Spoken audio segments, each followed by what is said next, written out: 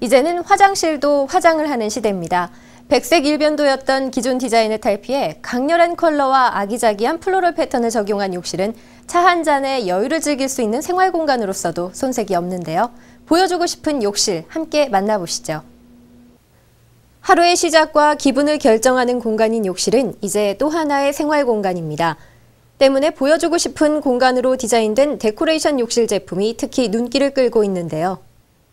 유려한 디자인의 백색 도기부터 컬러화된 세면대와 양변기까지 다양한 디자인 제품을 선보이는 이 브랜드는 국내는 물론 중국 시장에서도 큰 반향을 일으키고 있습니다.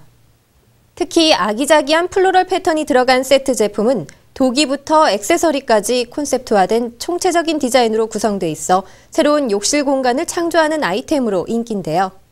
아무래도 인터버스의 가장 큰 장점은 데코레이션 제품들입니다. 고객들이 디자인 패턴만 선택을 해주시면 저희 인터버스 욕실 디자이너가 살고 계신 고객님의 욕실 바스를 그 디자인의 컨셉으로 요 양변기, 세면기부터 하나의 어우러진 컨셉으로 하나의 어떻게 보면 테마를 드린다고 보시면 되죠.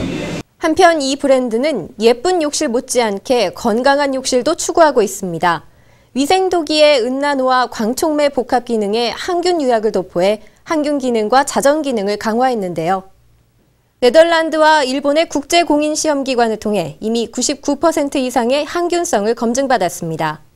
세라케어는 일단은 항균 방호 제품입니다. 그러니까 이 독이 유약의 2차 도포를 통해 가지고 이제 먼지라든지 그 육실에서 쓸 수 있는 이런 찌꺼기나 또는 이런 때들을 덜 타게 하는 기능이 또 하나가 있고요.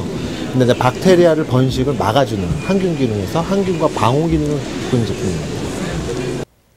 갖고 싶은 제품, 그리고 예술의 경지로 재탄생된 데코레이션 욕실. 소중한 생활 공간으로서의 아름답고 향기로운 화장실은 이제 차세대 욕실 문화의 선두에 서 있습니다.